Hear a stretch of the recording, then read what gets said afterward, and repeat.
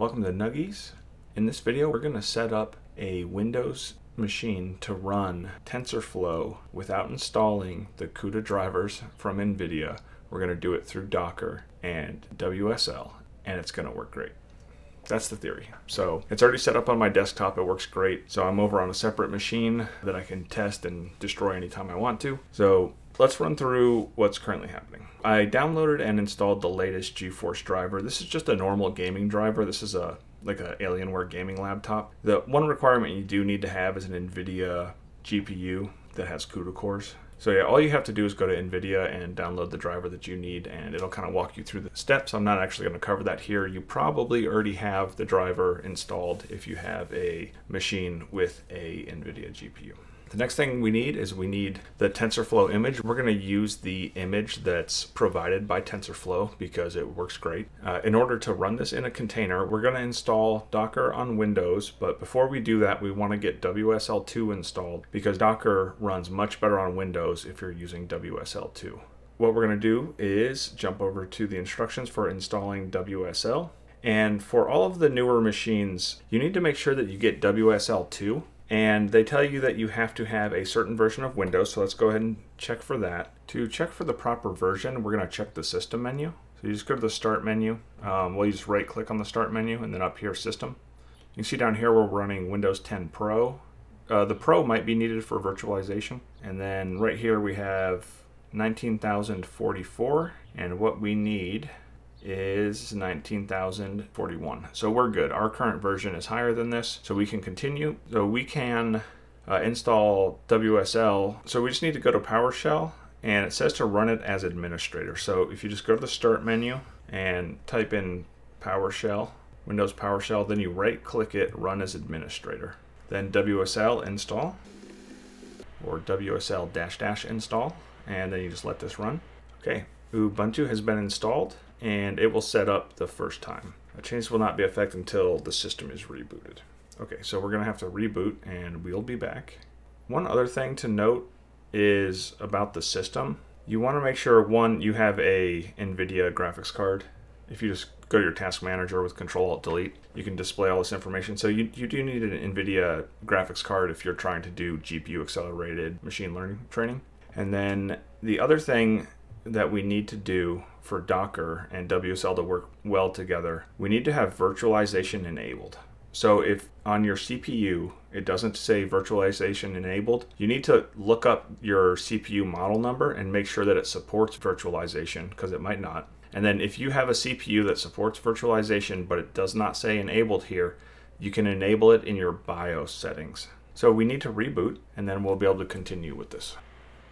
And it looks like when I log back in, it's automatically installing the rest of Ubuntu. So we'll catch that in the middle of the process here. And we're back. All they want is a username. So I'm just going to use first name here and then a password.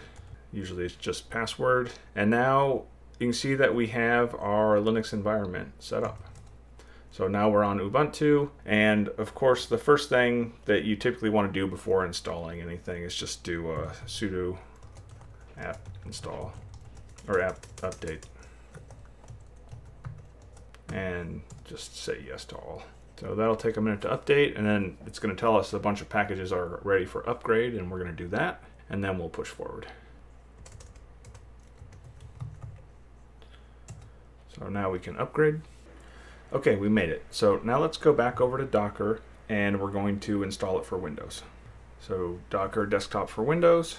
So this is the important step we're looking for, which is use WSL2 instead of Hyper-V, and that's recommended. So we definitely want to do that. And this laptop, the fans are screaming. It's actually due to be uh, sold on eBay, but it's such a hassle to sell electronics on eBay.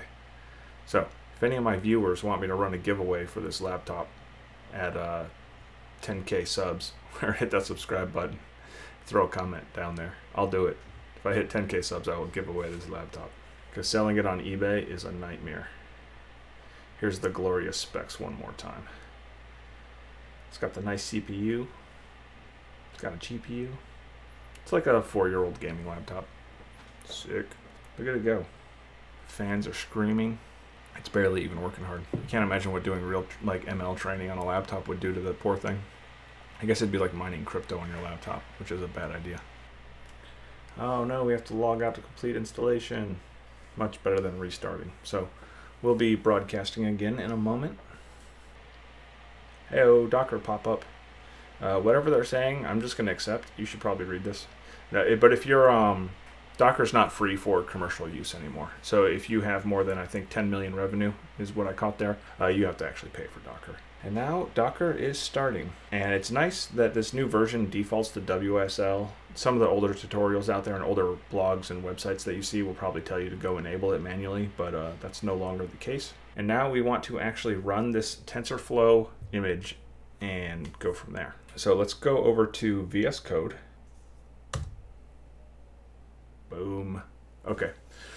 So now we're running the latest version with GPUs with Jupyter, and it should automatically launch the Jupyter Notebook.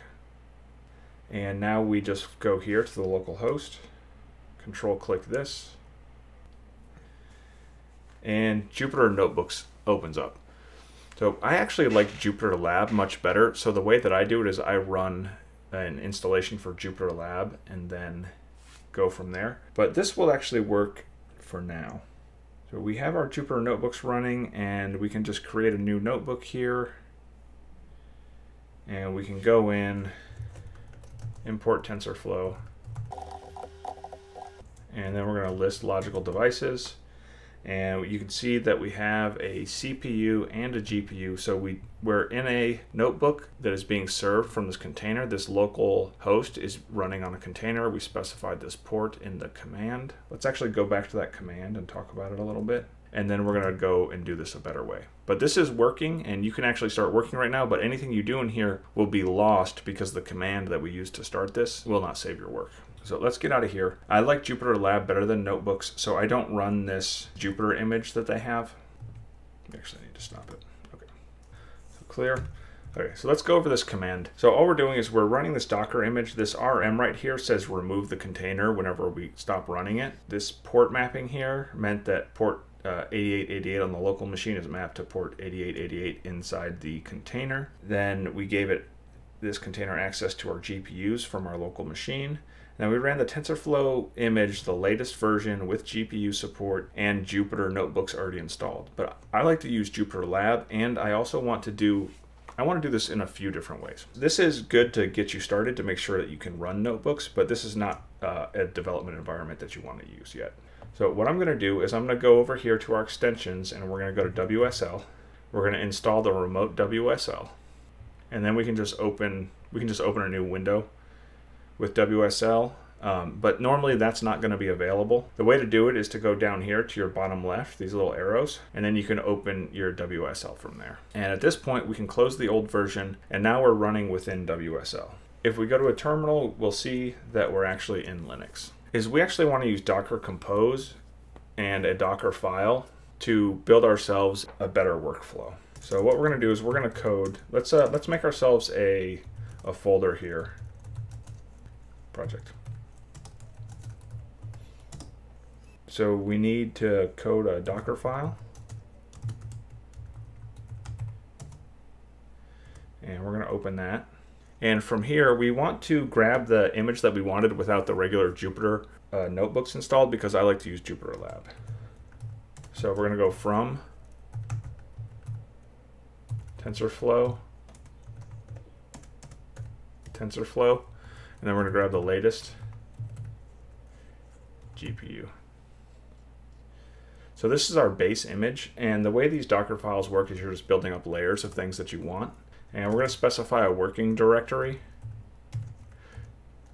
I'm going to call it tfnugs because that's what I used in my repo. And we're going to copy a file from our local machine into our Docker file, so that way we can actually install the additional packages that we want.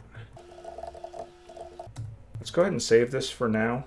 And I'm going to jump over to that file. So let's code requirements.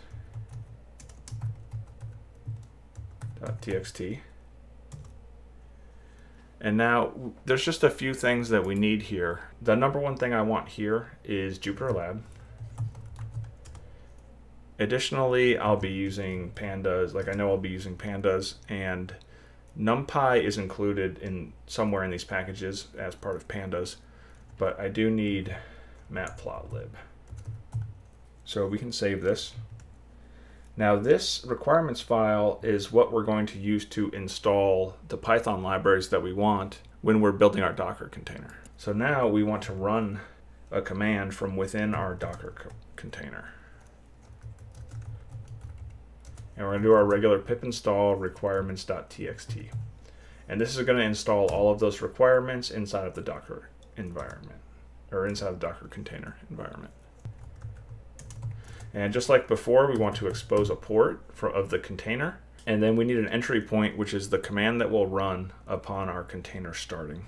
It's asking if we want the, the extensions for Docker, and I definitely am going to want whatever VS Code kind of has to offer. They have a nice environment for managing your Docker stuff. I'm going to close it because we're not using it right now, but that is what it is. So here we define our entry point, and then it's going to be Jupyter Lab, and each piece of the command is separated by comma and space. You just build a list uh, to build up your command.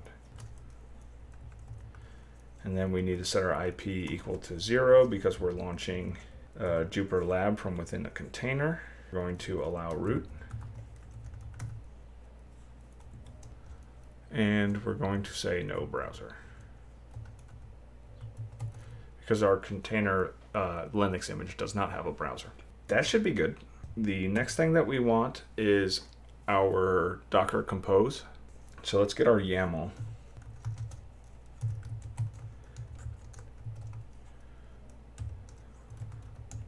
And this is the file that will be used by Docker Compose to build and run our environment.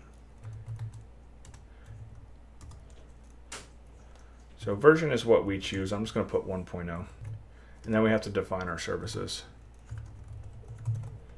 And I call it Jupyter Lab because that's what I want it to run. That has nothing to do with the actual command that's being run though. This is your name that you choose and we want to build, the path is just going to be the current directory. And then we're going to map our ports here. And I chose 8888 again. This is the part where now we want to be able to save and access files, which we never could have done with that previous container. Uh, one, because we were removing the container as soon as we were done. And then even if you didn't remove the container right away, the layer where you're editing files does not stay between instances of running that container. So this volume will actually map it to a local folder. That way you can access your files afterwards. So we're going to use the tfnugs directory. And then again, it's just going to be tfnugs uh, inside of our container. This is where it's really helpful to be inside of WSL. Where I mentioned that doing this in Windows is a pain, that's because of this directory service. You can't use the standard Linux directory system inside of Windows, and you you end up having to put a full. You can't use a local reference here. You have to put the full path and it has to be in Windows format, and that really just kind of messes things up. And that's why I do all of this from WSL. That's the number one reason, at least. There are there are other problems that you run into in Windows, but right now that that's the main reason. And then the final thing we need to do is share the GPU. Let's give it a shot. So now we can do Docker compose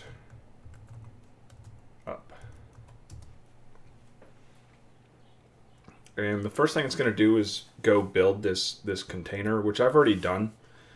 So what this is going to give us is now we have Jupyter Lab running instead of Jupyter Notebooks, which I prefer just because I'm trying to use the new stuff. And as always, first thing you do, settings, theme, Jupyter Lab Dark. It's glorious. And what we should have is the directory tf nugs. Let's just create our new notebook. Yeah, so we are inside of tfnugs. So if you hover over this, you can see that we're inside tfnugs. Now, when we make a notebook, we should be able to access it outside of this container whenever we're all done. So let's again, let's ensure we have our GPU. Probably get some warnings here. It's not a big deal. And I'm just going to go back up and run that again so we don't have to see the warnings. And as you can see, we do have our CPU and our GPU. From here, what we want to do is just save this notebook. And now all of these changes have been saved, so we can we can close out of this. And we'll come down here, Control C. It's going to stop the container and shut down Jupyter Lab. And if we go over here to our directory and open the TF Nugs folder, actually go back. Let's just open the project folder.